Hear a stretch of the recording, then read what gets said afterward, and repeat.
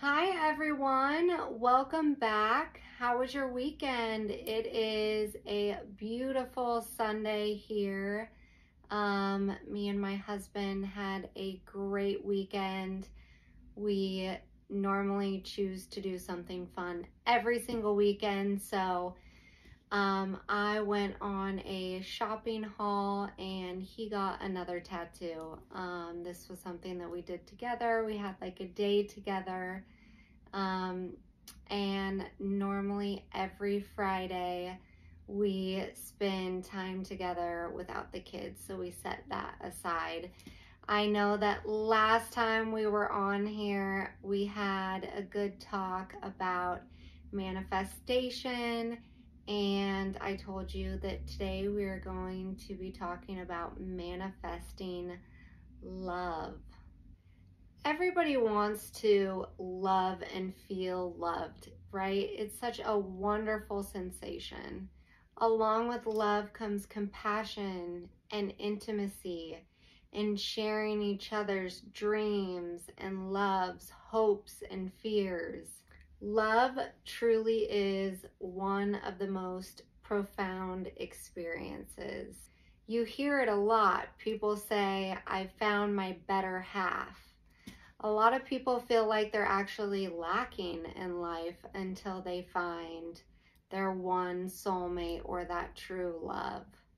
And people tend to even become a better person once they find their true love pushing aside that selfishness, pushing aside bad habits or things that they've been doing. A lot of times when you find your person or your true love, you glow up. However, and unfortunately, there are a lot of people, many people who have never found their true love. And so that's what we're on here to talk about today is how to attract that love. So you have the key to manifesting love.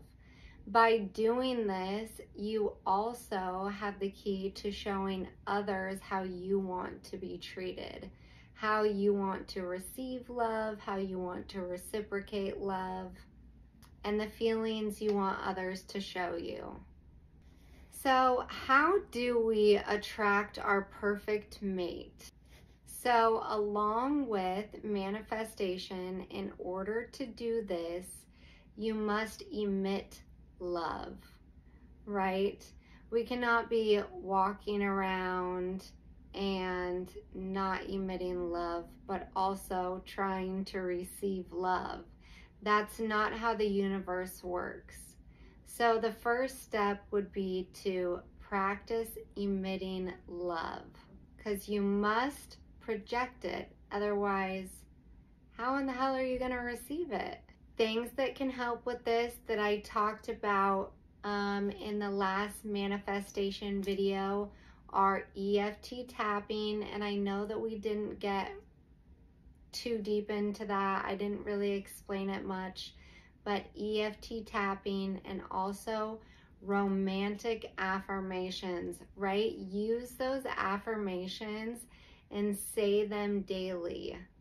By doing these things, this is going to help you emit the correct energy, right? You're putting it out into the universe with those romantic affirmations of what you want and how you want to feel and soon you are going to believe it doing it day after day after day you're going to become that person and eventually that right person is going to come to you. So while doing these affirmations, you need to get clear on your intentions.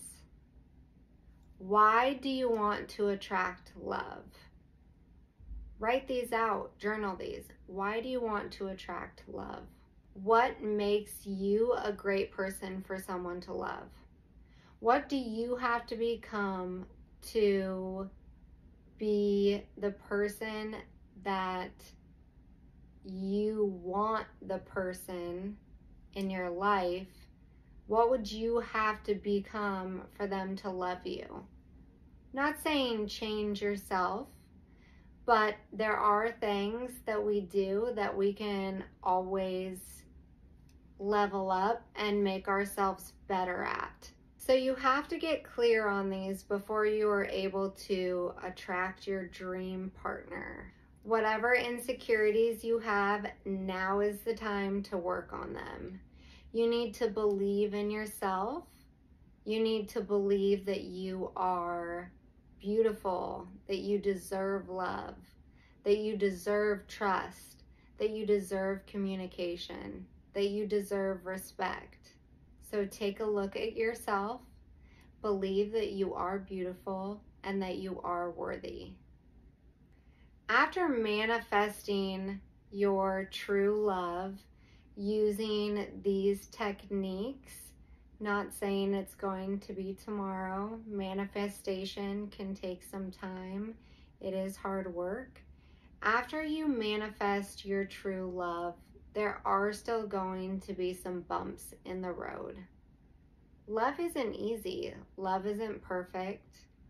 Um, and no matter who you're with, there's going to be issues. Does that mean that if you're in love with someone who treats you like shit, you stay?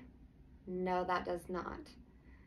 But if you find your soulmate, um, there are things that you can compromise for. So if you're dating right now and you feel like you found your person or you are even married or um, after you find the person of your dreams, you need to constantly assess your relationship. This is very important. Um, it's kind of like doing like a daily task that we do, cleaning out our email, um, taking our vitamins, drinking our water, right? These are all vital to our health, and this is vital to a healthy relationship. Nowadays, it is so easy for people to just stop trying. People love the chase, and then they get into a relationship and they stop trying. And this is why a lot of relationships and marriages fail.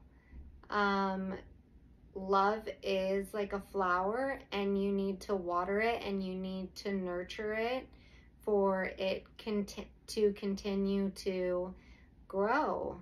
Um, it's not easy. It's definitely not easy. It is probably one of the hardest things in life. Um, but once you figure out how to do it and communicate effectively and work through your kinks, it becomes easier. So just think of a relationship as a living organism. It needs to be nurtured, it needs to be taken care of. Small gestures in a relationship can keep the momentum going um, it doesn't have to be anything huge, a text message, um, a good morning kiss, a flower. Um, one thing that I do for my husband every morning and night is I put toothpaste on his toothbrush. So if I ever go to brush my teeth and he's not there with me, I make sure that his toothbrush is all set up for him. So you also have to prepare for struggles and losing battles, right? Like I said, it's not all just roses. And people think that things get bad and you can just leave and find someone else someone else and it's going to be better. And in some cases that's true. I mean, some cases people are just not meant to be together, but a lot of times in society nowadays, I think it's just that people don't realize that the same life issues that you go through with one person, you're going to have to go through with another person. Um, so just figuring out how to work through those together. Another huge thing is finding balance between being together and then having each other's space. Um, you know, me and my husband, we don't really hang out with anyone else but each other. But um, my husband is gone a lot for work. And so we do get a lot of space from each other. So when we see each other again, it's always new, it's always exciting. Um, keeping the element of surprise, missing each other, that's very, very important. So now that we've talked about manifesting love, and um, if you already have it, kind of how to um, keep up on just making sure that your relationship is viable and healthy. Um, I think next time I want to dive a little deeper into the manifestation with love and talk about manifesting a specific person. I'm sure that watching this, um, there are some people on here who a specific person comes to mind when they imagine being um, or spending the rest of their life with someone. Crazy story. My husband, I met him through his sister, um, and even when we were younger, uh, we didn't know each other. Um, he constantly talked about me and tried to have his sister hook me up with him. And um, unfortunately I never got relayed the message. But um, I truly feel like he manifested me. He continuously chased me even when we didn't know each other. And also I feel like I manifested him not in the way that he manifested me I manifested him more in the qualities that he had. I had been in so many bad relationships and a bad marriage.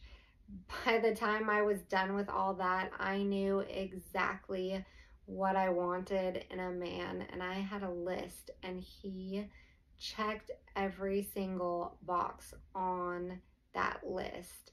And so this can really happen. I mean, manifesting love, manifesting your person, it is a real thing.